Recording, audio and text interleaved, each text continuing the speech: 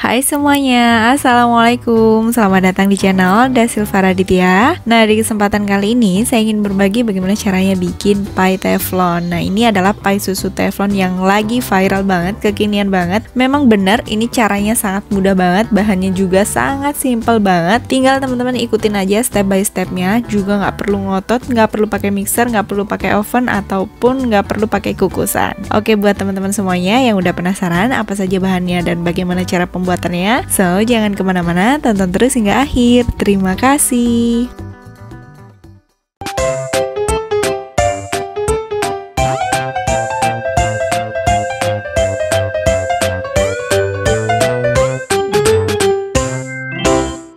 Oke, ini dia bahan-bahannya untuk membuat kulit pie-nya. Jadi di sini ada dua bagian, yaitu kulit pie sama isian flan-nya. Untuk yang pertama, bahan untuk kulit pie-nya ada 10 sendok makan tepung terigu protein sedang atau di sini saya menggunakan segitiga biru. Kemudian yang kedua adalah satu butir kuning telur. Selanjutnya yang ketiga adalah 5 sendok makan margarin. Ini saya menggunakan Blue Band. Kemudian yang keempat atau yang terakhir adalah satu sendok makan gula halus atau bisa juga menggunakan gula pasir yang dihaluskan. Nah itu adalah bahan untuk membuat kulit pie-nya sangat simpel banget hanya 4 bahan aja Langsung aja kita ke cara membuatnya yang pertama, saya akan masukkan 10 sendok makan tepung terigu protein sedang. Jadi untuk satu sendok makannya mengambilnya seperti ini. 1 2 3 4 5 6 7 8, 9, 10 sendok makan tepung terigu protein sedang. Selanjutnya kita tambahkan gula halus. Untuk gula halusnya ini saya gunakan satu sendok makan aja. Untuk gulanya ini semakin menambah rasanya aja. Misalnya teman-teman tidak mau menambahkan gulanya juga boleh, nggak masalah. Selanjutnya kita masukkan margarinnya. Untuk margarin yang saya gunakan ini adalah Blue Band. Kita ambil sebanyak 5 sendok makan seperti ini. Nah ini udah yang kelima. Kemudian kita tambahkan bahan yang terakhir yaitu kuning telur. Jadi kita tambahkan hanya kuning telurnya aja. Setelah itu kita aduk rata terlebih dulu. Yang pertama di sini saya akan menggunakan sendok seperti ini. Sampai semuanya kira-kira agak tercampur rata ya teman-teman. Jadi nanti ini e, kayak buliran-buliran gitu sebenarnya. Kalau udah seperti ini Biasanya langsung aja saya aduk menggunakan tangan nggak perlu terlalu ngoyo nggak perlu sampai kali seperti waktu membuat uh, roti gitu nggak perlu sampai seperti itu yang penting semuanya tercampur rata jadi mengaduknya nggak perlu terlalu kuat sampai semuanya tercampur rata aja seperti ini Kemudian ini udah siap untuk kita tata di cetakannya atau di teflonnya. Nah, seperti ini. Untuk fry pan yang saya gunakan adalah fry pan dengan diameter 20 cm.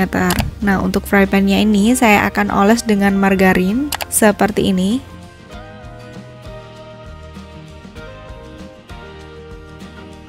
Setelah itu adonan kulit pie-nya akan saya letakkan di fry pan-nya sini. Saya akan ratakan terlebih dulu. Untuk kulit pie-nya ini jangan terlalu tebal juga jangan terlalu tipis. Kalau terlalu tipis nanti mudah patah. Kalau misalnya terlalu tebal nanti takutnya agak e, cepat melempem atau alot gitu ya teman-teman. Jangan lupa juga untuk pinggiran pie-nya perhatikan ya teman-teman. Biasanya kalau pinggirannya e, agak bergerigi kayak e, gimana ya kayak lubang-lubang gitu, dia akan mudah pecah ketika kita pindahkan. Jangan lupa untuk meratakannya seperti ini. Kalau saya ketika udah hampir selesai seperti ini, saya suka menggunakan sendok karena hasilnya nanti akan lebih rapi. Nah, perhatikan untuk bagian bawahnya juga. Setelah halus seperti ini udah semuanya, pinggiran juga udah rapi, nah, bagian dalamnya juga udah rapi. Kemudian tusuk bagian bawahnya dengan garpu supaya nanti kulit pie-nya ini tidak bergelembung atau bergelombang gitu ketika kita panggang. Tusuk-tusuknya menggunakan garpu seperti ini. Kalau misalnya teman-teman di kosan tidak ada garpu bisa menggunakan tusuk gigi apa pun deh yang penting nanti ini ditusuk-tusuk seperti ini.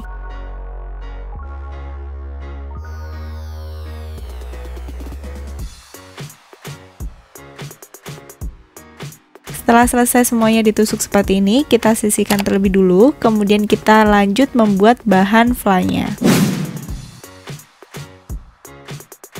Ini ada bahan-bahan untuk membuat flynya. Yang pertama, di sini ada setengah sendok teh garam halus, kemudian 10 sendok makan air. Setelah itu ada 12 sendok makan kental manis putih, 2 butir telur utuh, secukupnya vanila bubuk.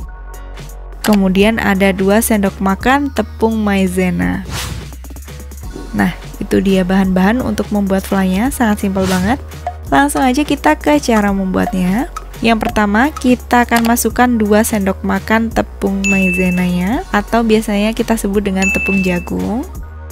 Kemudian kita tambahkan air sebanyak 10 sendok makan. Untuk airnya ini air biasa aja, nggak perlu air dingin atau air panas.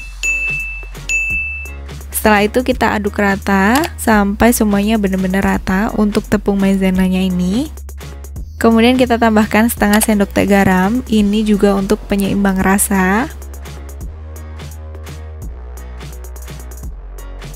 Setelah itu kental manisnya kita tambahkan. Di sini saya menggunakan 12 sendok makan kental manis. Kalau misalkan teman-teman mau lebih manis lagi bisa ditambahkan maksimal sekitar 20 sendok makan. Tapi menurut saya sekitar 12 sampai 14 sendok makan sudah cukup manisnya. Setelah ditambahkan, kita akan aduk rata semuanya ini. Kemudian setelah kita aduk rata, tambahkan telur yang udah kita siapin tadi, yaitu sebanyak 2 butir telur utuh. Setelah 2 butir telur utuh kita masukkan, kita akan kocok rata semuanya. Kemudian kita tambahkan vanila bubuknya, ini biar nggak terlalu bau telur gitu ya teman-teman. Kita tambahkan vanila secukupnya. Untuk vanila yang saya gunakan ini sangat harum banget, jadi saya sekitar seperempat sendok teh udah harum sekali. Jadi sesuaikan aja untuk vanila yang teman-teman gunakan. Kalau udah seperti ini, berarti ini udah siap untuk kita tuangkan ke dalam kulit pie-nya. Untuk menuangnya, tuang sambil disaring seperti ini supaya bagian dalamnya atau bagian fly-nya ini benar-benar halus. Jadi nggak ada bagiannya bergerindil gitu. Setelah kita tuang semuanya sambil disaring seperti ini, ini udah siap untuk kita panggang. Nyalakan apinya, kita panggang dengan api yang sangat kecil sekali selama kurang lebih 15 hingga 20 menit. Nah, Jangan lupa untuk fry pan-nya kita tutup. Jika nanti ada gelembung-gelembung kecil gitu, di sini akan saya saring terlebih dulu supaya lebih halus nanti hasilnya. Jadi kalau menggunakan teflon, saran saya sih lebih baik sering-sering dilihat ya teman-teman. Jangan lupa untuk memanggang dengan teflon ini, pastikan apinya benar-benar kecil supaya bagian bawahnya nggak cepet gosong tapi fly-nya belum matang. Nah untuk tutupnya ini kalau misalnya basah, teman-teman bisa angkat dulu kemudian dilap saja supaya airnya tidak menetes ke bagian fly-nya ini. Nah, ini saya memanggangnya sekitar 20 menitan. Setelah 20 menit, seperti ini. Coba kita tes dulu untuk bagian atas fly-nya. Biasanya akan saya ambil sendok, kemudian saya tempel-tempelin seperti ini. Kalau udah nggak menempel, berarti dia udah matang. Kemudian ini akan kita biarin dulu hingga dingin. Kalau udah dingin, bisa kita keluarin atau kita sisihkan di piring gitu. Kenapa kita biarin hingga dingin? Supaya dia benar-benar kokoh terlebih dulu. Biasanya kalau misalnya langsung kita pindahkan itu akan mudah sangat amat mudah pecah dan itu membuat pie-nya itu nggak cantik. Jadi sih benarnya jadi, cuman uh, nanti agak pinggirannya mudah pecah gitu. Oke, ini udah dingin. Kemudian di sini akan saya potong seperti ini. Uh, ini lembut banget dan pinggirannya itu crunchy banget. Uh, ini ngeprul banget seneng deh. Ini beneran enak, simple dan rasanya itu luar biasa. Ah, oke, seperti ini. Nah, ini dia pai susu teflonnya udah jadi. Ini beneran enak, langsung aja yuk kita cicipin.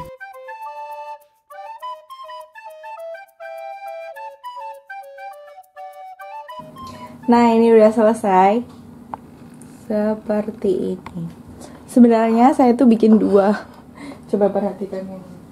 Nih barusan tuh ada tamu dan saya suguhin ini belum sempat saya foto. Nah kalau misalnya nanti saya nggak ada pencicipan lagi karena ada tamu nanti ditanyain kok nggak ada pencicipan lagi? Takutnya kan nanti ini habis gitu. Nah karena ini udah dimakan saya bikin lagi satu. Sebenarnya hasilnya sama aja tuh. Bawahnya juga sama aja gini.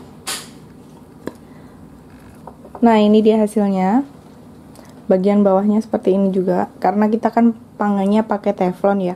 Kalau misalnya di oven dia bakalan lebih cantik lagi. Tapi kalau pakai teflon kayak gini aja udah syukur. Alhamdulillah nggak gosong. Untuk bagian kulitnya itu crunchy banget. Sedangkan untuk flynya ini lembut banget. Coba ini ya. Bismillahirrahmanirrahim. Hmm. Mm -hmm. itu ngobrol hmm.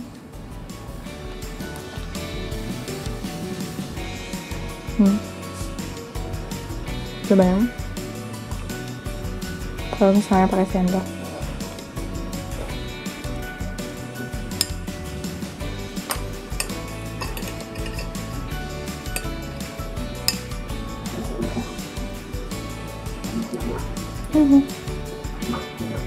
Selamat mencoba.